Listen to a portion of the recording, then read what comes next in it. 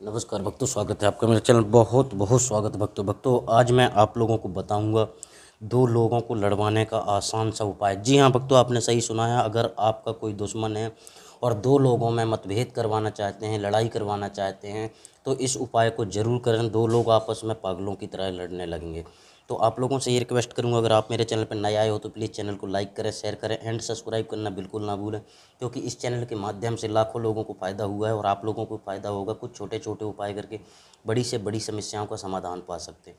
आज का जो उपाय है, बहुत ही अच्छा और अचूक उपाय है, जिसकी मदद से आप किसी दो लोगों को अलग कर सकते हैं, उन पर लड़ाई करवा सकते हैं, उन पर अनुमन करवा सकते हैं। तो इस वीडियो को लास्ट तक देखें, स्टेप बाय स्टेप मैं आप लोगों को समझाने वाला हूँ। तो आप लोगों से रिक्वेस्ट करूँगा, जितने भी कमेंट बॉक्स में अपने अपने नंबर लोग देते हैं तो प्लीज़ वहाँ पे कांटेक्ट ना करें। यदि आप वहाँ पे संपर्क करते हैं और आपका धन व्यर्थ में गंवाते हैं तो आपका इस चैनल का कोई जवाबदारी नहीं रहेगा, स्वयं की ज़िम्मेदारी आपकी रहेगी। तो चलिए मैं आगे बढ़ाने से पहले आप लोगों से ही हाथ जोड़ के रिक्वेस्ट करूँगा, प्लीज़ वीडियो को लाइक कर दीजिएगा, ठीक है? तो आपको बताऊँगा किस दिन करना है, कैसे करना है। तो आपको बता दूँ, सबसे पहले आपको दिन आपको बता दूँ कि इस उपाय को, आपको रविवार और बुधवार को, शाम को छः बजे से नौ बजे के बीच में करना है। शाम को छः बजे से नौ बजे के बीच में करना है, ठीक है? इस उपाय को, ठीक है? सबसे पहले आपको दो मिर्च लेने हैं, ठीक है? अपना और उस जिसको जिसकी आपको लड़ाई करवाना है, ठीक है? दो मिर्च लेने हैं, दोनों का आपको नाम लिख देना है, स्वास्थ्य के चिन्ह इस तरीके से आपको नाम लिखने के बाद आजू बाजू स्वास्थ्य के चिन्ह, जिसकी जिसकी लड़ाई करवाना उसका उसका नाम लेना है, ठीक है? अपना खुद का नाम नहीं लिखना है, जिसकी जिसकी आपको लड़ाई करवाना है, उसका नाम आपको इन मिर्च में लिख देना है, ठीक है? हरी मिर्च लेना है, ठीक है? इसके बाद आपको एक सू, सुई की ज़रूरत पड़ेगी, ठीक है, और थोड़ा सा सिंदूर की। सबसे पहले आपको क्या करना है, आपको ध्यान देना होगा स्क्रीन के ऊपर, ठीक है?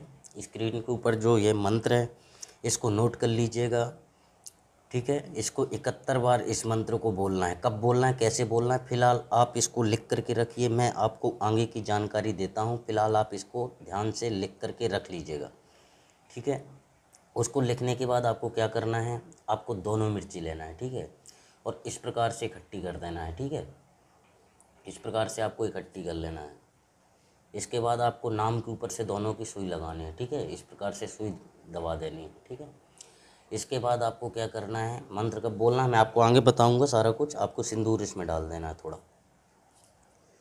इस प्रकार से, ठीक है?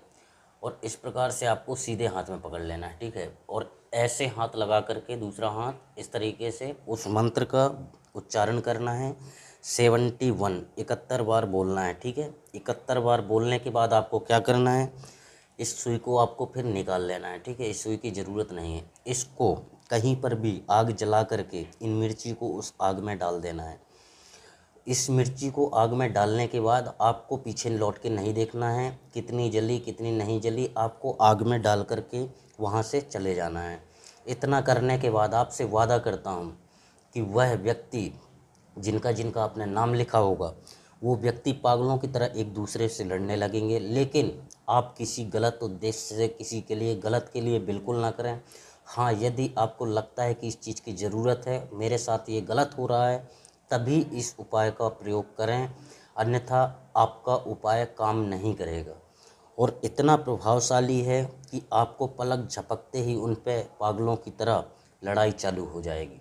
आपको सिर्फ़ इतना ही करना है, इसके अलावा आपको कुछ नहीं करना है। आपसे वादा गारंटी लेता हूँ कि आपका कार्य सफल ज़रूर होगा। तो उम्मीद करूँगा आपको वीडियो बहुत ही पसंद आई होगी। पसंद आई हो तो प्लीज़ अभी तक लाइक नहीं किया, लाइक करिए। मिलता हूँ अगली वीडियो में, तब तक के लिए जय माता जय श्री राम, भक्त राम राम।